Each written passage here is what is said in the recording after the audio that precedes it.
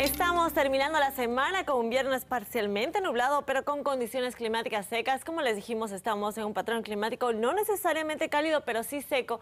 Es un clima ideal, ni muy caluroso ni muy frío. Las temperaturas máximas alcanzaron los 77 grados en Yakima y los 80 grados en los Tri-Cities. Veamos qué temperaturas tendremos mañana. Se esperan 77 grados en Yakima, en los Tri-Cities, un poquito más cálido con 79 grados.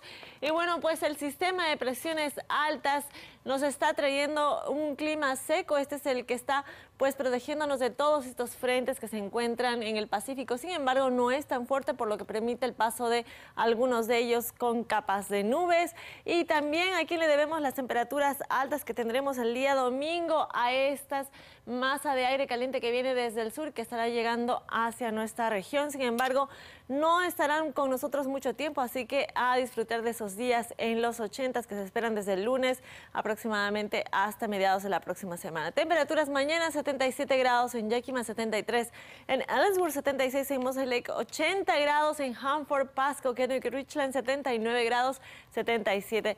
Bueno, pues este es el pronóstico para los próximos cinco días. De los 70 estaremos llegando a los 80, como les dije, desde el día lunes, condiciones climáticas secas, abundantes rayos de sol ese día domingo, así que a disfrutar, hacer planes con la familia, por las noches temperaturas en los 40, temperaturas en los tres en los 80 desde el, domingo, desde el domingo, para la próxima semana también continúan los 80, 85, el día lunes una de las temperaturas más altas, por las noches en los 40 y 50, se les recomienda que si vayan a los ríos, por favor, tomen las precauciones necesarias, las aguas todavía están congeladas, así que si va al río con la familia a tomar las precauciones. Nosotros volvemos después de esta pausa.